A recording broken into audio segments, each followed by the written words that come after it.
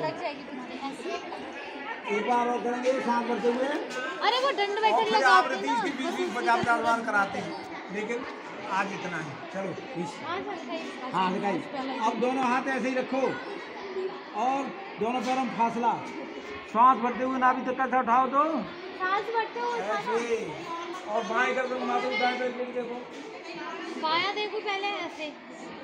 और सांस छोड़ के नीचे सांस छोड़ो। अब सांस भरते हुए फिर से उठाओ। फिर सांस भरो फिर उठाओ। दाएँ गर्दन